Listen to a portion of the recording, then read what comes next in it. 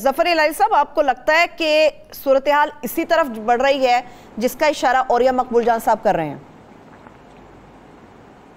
जी हाँ मैं समझता हूँ it is a very apt comment जो औरिया साहब ने कहा है। देखिए, सीधी सादी बात ये, एक नया इमरान खान को इमर्ज करना है। ये आदमी जितनी मकबूलियत इसने इस वक्त हासिल की है और कोई पाकिस्तान में किया ही नहीं है। मेरे ज़िंदगी में तो नहीं किया है। ये भुट्टो की इक्विवलेंट है, बल्कि भुट्टो से बेहतर। भुट्टो तो ऑल काइंड ऑफ़ ट्रिक्स भी इस्तेमाल करता था। इस आदमी को देखने के लिए जो लोग आते हैं, चारों सूबों में पांचें सूबों में से आते हैं। मैस सपोर्ट पब्लिक ही इज़ रेडी टू बैटल लड़ने के लिए वो तैयार है। उसके लिए इस वक्त इट्स नाउ और नेवर और किसी वक्त भी कह सकता है लॉन्ग मार्च अगर इलेक्शन का डेट आप उसको फिक्स करके नहीं दें। और देखिए, सीधी सादी बात है, सब किस्म की मीटिंग्स बैकडोर मीटिंग्स जो हुई हैं, वो नाकाम हो गई हैं। और उसका जो सॉफ्ट स्टांस हो रहा था, लग रहा था, कुछ सॉफ्ट हो रहा है, वो तो समझने लग गया है कि यार ये तो समझते हैं मेरी कमज़ोरी है। वो इसलिए नहीं कह रहा है वो अनलाइक अनलाइक वो इसलिए नहीं कह रहा है कि वो कठपुतली हैं। जो उनको मैनेज कर रहा है, वो है द रियल मैन और उसका नाम बच्चा बच्चा जानता है पाकिस्तान में। तो ज़रूरी नहीं है कि मरियम नवाज़ के बाप के तरह उन्होंने जाके ये पब्लिक मीटिंग्स में वो नाम वाम दें। सबको पता है the point is everyone knows देखिए इमरान खान का सोच बड़ा पक्का है वाजे हो गया है। मैं इससे ज़्यादा पॉपुलर नहीं हो सकता। मैं इससे ज़्यादा क्राउड्स को कमांड नहीं कर सकता। मैं मेरे जितना चौदह अरब अगर मैंने आठ घंटे में रेज किया है पैसे और कोई नहीं कर सकता है चौदह लाख नहीं कर सकते। और ना मैं ठहरने के लिए तैयार हूँ। मुल्क कोलैप्स कर रहा है। जब तक स्टेबल पॉपुलर गवर्नमेंट ना आए इकोनॉमिक के रहेगा। लोग मर रहे हैं, डेंगी से, मलेरिया से, गैस्ट्रो से, हर किस्म के वाटरबॉर्न डिज़ीज़ से लोग मर रहे हैं। गवर्नमेंट कोप नहीं कर सकती है और कोई नहीं आ रहा है लोगों को मदद करने के लिए। अगर आप ये नहीं मानते हैं तो तीन एम जिनका नाम लगारीज है, उन्होंने कहा है कि हम मानते हैं कि कुछ नहीं हम कर सकते, लोग डेस्परेट है। हमें फ़िक्र है कि हमें क्या होगा। इतने अनपॉपुलर हम हो गए हैं। माफ़ करिए ये ये ये जो डेवलपमेंट हुआ है फ्लड के बाद मैं कहता हूँ इट्स ऑन अ पार जो ईस्ट पाकिस्तान के साथ हुआ था। ठीक। उधर तो खैर पाँच लाख लोग डूब के मर गए। और उसके बाद एक आदमी जो इसका नॉर्मल सपोर्ट था तो वो हीरो बन गया और हर सीट जीत गया उनके इलेक्शंस में। मगर ये कुछ नहीं हो रहा है। लोग कह रहे हैं nothing is happening to help them अच्छा।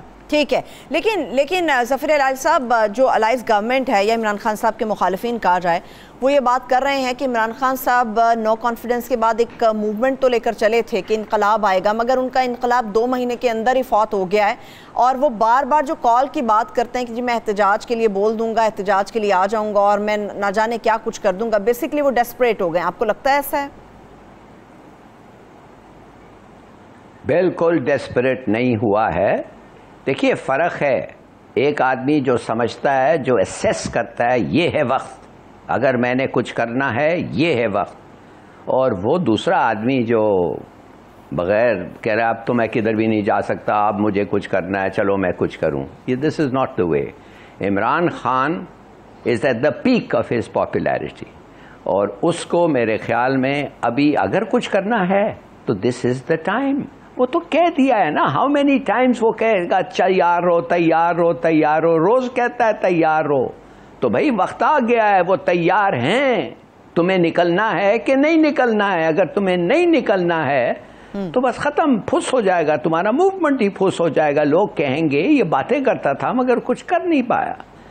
देखिए दिस इज़ द मोमेंट कौन नहीं कहता है भाई? कौन नहीं कहता है? बच्चे बच्चे कहते हैं एक पॉपुलर गवर्नमेंट डेमोक्रेसी में आप इलेक्शन से डरते हैं?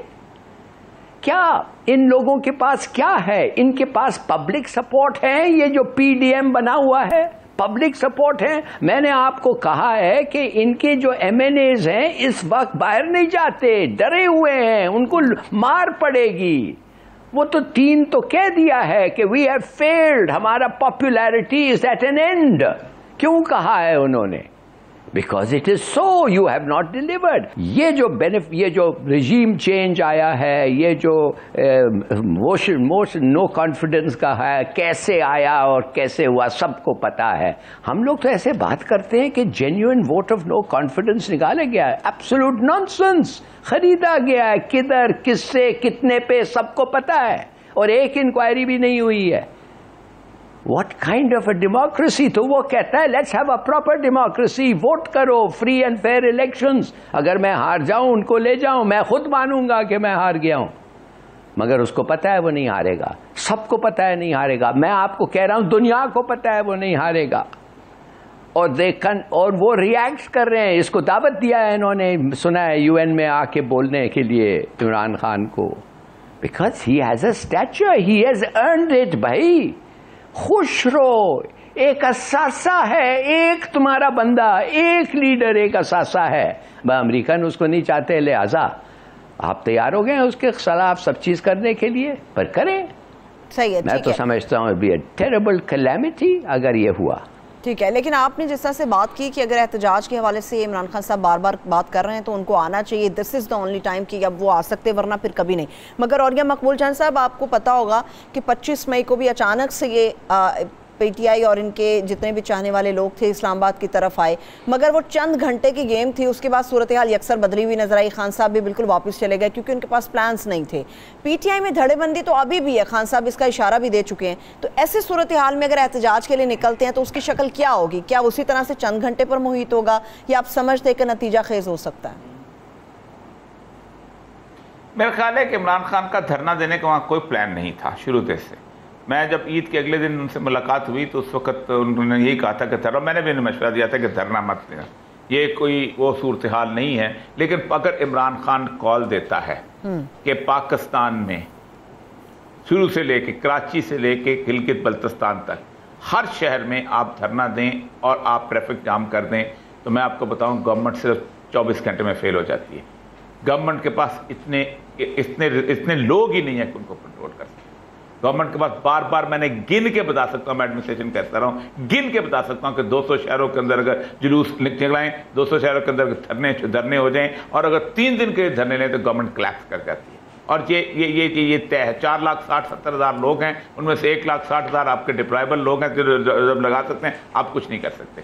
आपको मैंने आपको बताया कि 25 मई वाले दिन भी उनको आखिर में फौज हम वहाँ फौज के वाले शेयर करते रहे हैं। वहाँ लिखा जाता है कि वी हैव फेल्ड एक बात तो ये है। दूसरी बात यह है कि 25 मई ने एक और काम किया है। 25 मई ने एक झिझक खत्म की है उस क्राउड की कि जो बच्चों के साथ आता था, जो औरतों के साथ आता था, जो नौजवान जो बर्गर कहलाते थे, उन्होंने पूरे एक रात आँसू गैस का मुकाबला किया। ये बहुत कम हुआ है पाकिस्तान की तारीख में।